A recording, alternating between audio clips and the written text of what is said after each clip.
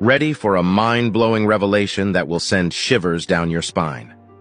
The rapture, an event of biblical proportions, is on the horizon. But what is it, and what does it mean for you? In today's video, we're about to unravel the mystery behind the imminent rapture. The rapture, the event where believers are taken up to be with Jesus Christ, is approaching rapidly. The signs are becoming clear, pointing to this event happening soon. This is a crucial moment in Christianity, as it marks the beginning of a seven-year period known as Daniel's 70th week, or the time of Jacob's trouble, often referred to as the seven-year tribulation. The anticipation is growing because the shadows of the upcoming tribulation are already being seen in the world. The rapture must occur before the Antichrist's rise and the tribulations start. The pace of these signs is astonishing. They are no longer unfolding daily or even hourly. It's happening almost every second. The events that are predicted to occur during the tribulation are leaving their mark on the world today. It's a strong indication that we are on the verge of significant prophetic events.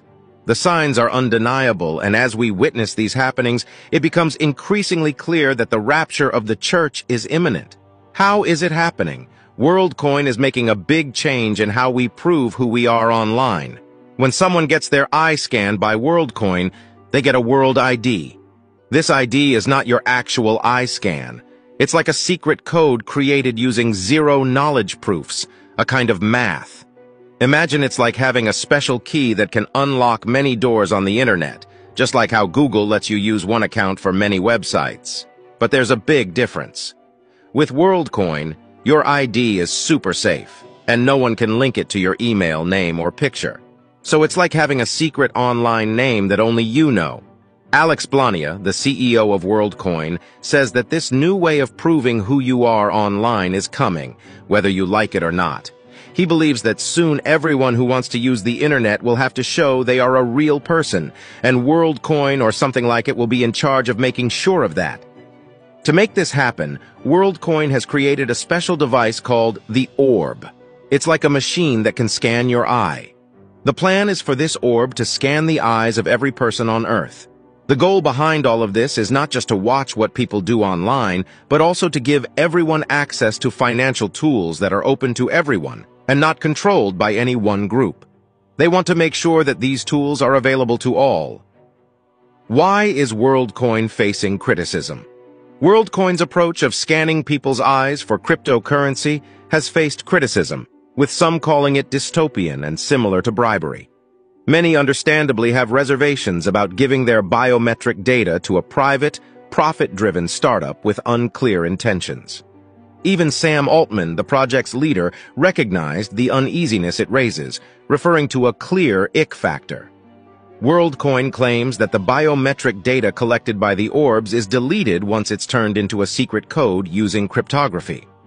However, past incidents of tech companies mishandling data have left people wary. Some worry that these iris scans might be misused for surveillance or sold to other companies. Edward Snowden, a well-known whistleblower, cautioned against using biometrics for such purposes, emphasizing that the human body should not be treated like a mere ticket or entry pass. This skepticism reflects concerns about privacy and data security in an increasingly digital world. Why is this significant?